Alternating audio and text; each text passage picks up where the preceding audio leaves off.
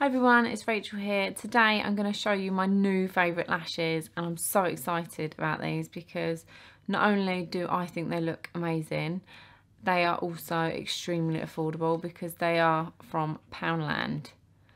So these are Ferne McCann's Calabasas Crush. She does have other um, different ones, but these are quite full and they've got longer bits in there and shorter bits, which at first I thought would be a bit too much, but I'm actually wearing them now. So these are Calabasas Crush. They're quite a full lash, but I do love a full lash. I think this side is a little bit thin there because I've had these on for about a week now. So on the packaging, it does say most full lashes have a lifespan of around four wears, whereas I've had mine on for just over a week that I'm wearing now and they're only gone a bit thin there where I've pulled the glue off a little bit too heavy-handedly and caught them. But I love a full lash. Not sure if you can see them. But if you follow me on Instagram, you'll see that I post about these as well. But I thought I'd do a video on how I apply them and just my general review on them. You do get glue in there, which I'm not sure if you can. It just literally says Ferne McCann eyelash glue warning keep out of reach children blah blah blah blah. But it's also because I've tried Jess Wright's eyelashes which is also from Poundland they're exactly the same. They just say Jess Wright's beauty eyelash glue and Ferne McCann eyelash glue. And I have used this so it is clear and it's got a little stick in there. But it's rubbish I'm not gonna lie. So for a pound the eyelashes are great but the glue is not so much. But you can't have it all.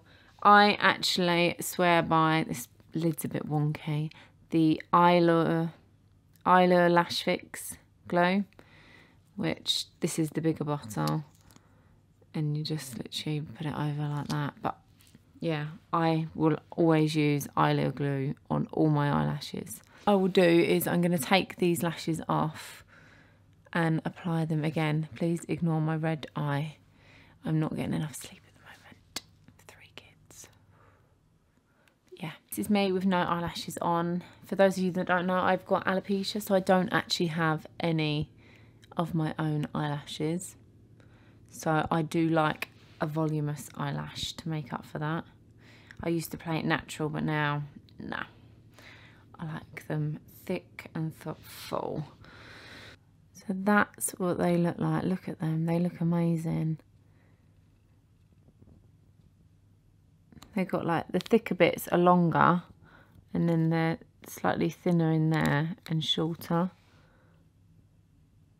They do. Like I said, these ones are brand new. The ones that I've got here, I've actually worn for around about a week, and I'm just going to stick with these ones for now.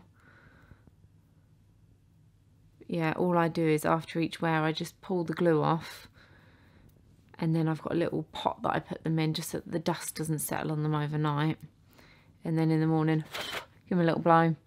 They're ready to go. And I will apply glue along the lash line, the lash band there and along my lash line as well because where I haven't got any eyelashes I find by using two layers it they will hold all day so I won't have to reapply. I won't have any falling off eyelashes either. So that's just got so if you can see I've just put some glue along the edge. Put that down and then I'm going to put a line of glue along where it's going to go. I do use liquid eyeliner. I have a line there. So if you do do the same, it does leave a little bit of room for error because you haven't got them exactly straight because you've got black to go on.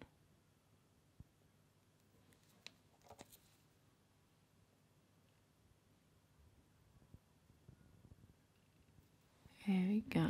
So, just a line of glue. I do usually do both at the same time. So I'll put some more glue on this one.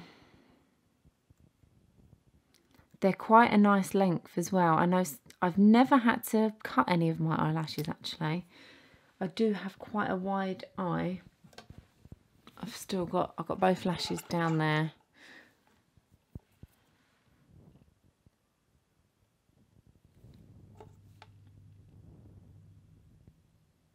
Like I said, I have used the glue that comes with it, but it, my lashes ended up just falling off after a short while. Doesn't have to be neat, just pop it on in the general direction of where it's going to go. And then I will wait until that has gone clear pretty much.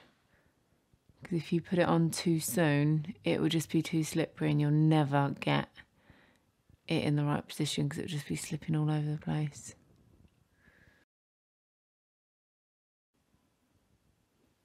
So as you can see, the glue looks like it's disappearing. Obviously where the thicker bits are, it's still showing. This is when I get impatient, so let's give it a go. I don't use any tweezers or anything like that. I just literally use my fingers. And then I just pop it front. And there.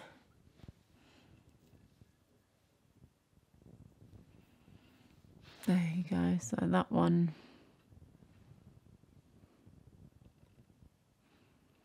But yeah, so this one, I think I put slightly more glue on that side.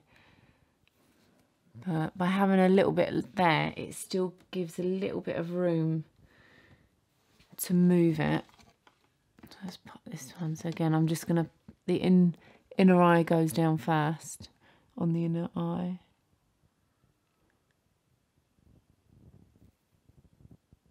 That's that.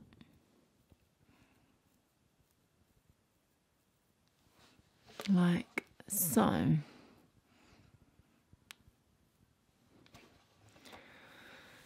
Easy. I think the trick is to apply them when the glue is at the right consistency because like I said too early and it'll be slippy too late it will stick too much and you won't have much room to move but I was hopeless about four years ago. I couldn't apply eyelashes. So practice does make perfect. But that is Ferne McCann Calabasas Crush Pound Eyelashes. Currently my favourite. Definitely would not know that they was a pound.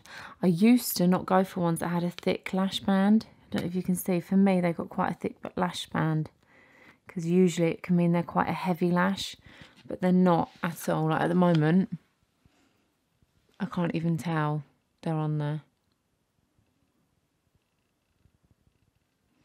definitely worth getting this is my last pair actually because I keep going back to Poundland but they've got all the other ones but none of these.